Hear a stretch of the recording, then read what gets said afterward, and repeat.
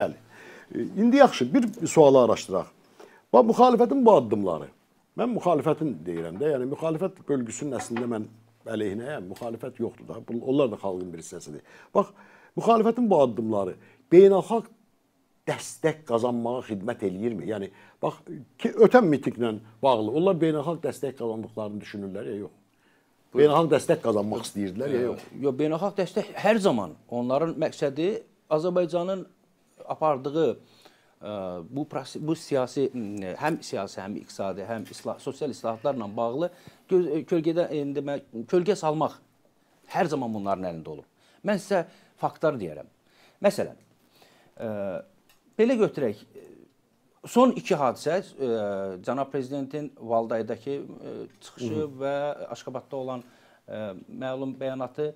Ondan sonra bunların 3 gün sonra, 4 gün sonra məhz bu cür çaxnaşmaya səbəb ola biləcək addımlar atmasında hər zaman şübhə ilə yanaşmışam. Mən tək mən deyiləm. Yəni gözləmirsiniz ki, belə bir addım atacaq. Ə, ə, təbii ki. Və Aydın. ondan başqa bir tərəfini deyim. İlqar müəllim, xırda xırda detaldır. Baxın.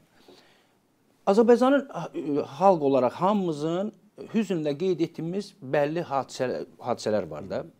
20 yanvar hadisəsidir. Bəli. Şuşanın işğalıdır. Xocalov. Xocalov hadisəsidir. Mən sizə məsləhət görürəm və e, xahiş edirəm, əgər vaxtınız olarsa, e, bir monitorinq aparın, görün xaricdə olan, xaricdə olan e, Azərbaycanlıların aksiyalarının hansı daha çox hansı dövrə əhatə eləyir? Bir mənalı olaraq bizim fikrimiz yaranır ancaq onların o yaratdığı süni şouya. Bu da məndə bir şübhələr yaradır, ciddi şübhələr yaradır. Niyə məhz həmin tarixlərə əhatə e, şey təsadüf edir? A, Başa düşürəm. Yəni tutaq ki, daxildə müxalifət deyirsiniz, onlar müxalifət deyirlər. Yəni müxalifət o mənada deyirlər ki, e, tam müxalifət deyirlər də. Yəni müəyyən bir qrupdur. Özləri özlərini ayırıblar. Amma bəy, sizin tərifləməyinizlə deyil. Bunlar sizi heç vaxt ora daxil etməyəcəklər. Yox, mən heç ora daxil olmaq istəmirəm. Əyo, yəni siz Və heç kəs də özünüzü tərifləmə fikrində Ə, deyil. Əks, tərəf, əks fikrinə Hüququ yanaşırsınız. Əzizim, bax bu hüquq mənə yazılıb burada. Yazılıb. Xahiş edirəm Mən də- dövlət təmin eləsin. Bu hüququ Yəni, mənə e, e, yazıb. O suala cavab verdim. Və e, və yəni onu demək istəyirəm ki, bu həmin o qrupun məhz bu hadisələrdən ya əvvəl ya sonra ya əvvəl e, fikri yayındırmaq üçün, ya da sonra həmin o proseslərə kölgə salmaq üçün atdığı addımlardır. O da bilirsiniz nəyə oxşuyur? Çox e, suda boğulanın e, yəni bir- belə çırpıntı son çırpıntıları kimi başqa heç nə ilə qiymətləndirmirəm. Bir ə, hadisəni danışım. Biz ə, səhiyyə və təhsilə qarşı aksiyalar keçiririk. Dalğa Gənclər Hərəkatı. Nəsə günlərin bir günü ə, polis bizi ə, saxlayıb ə, ki, təhsillə bağlı aksiya keçiririk. Ə, rəis gəldi. Adını çəkmək istəmirəm. Dedi nə işdi? Dedik ki, bəs belə-belə.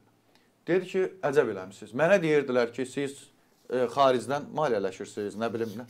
Amma mən deyirəm ki, siz əcəb eləmisiniz. Bundan sonra səhiyyə və təhsilə qarşı nə aksiyanız olsa keçirin. Mən də sizə kömək. Dedim niyə? Dedi mənim nəvəm xəstələnmişdi.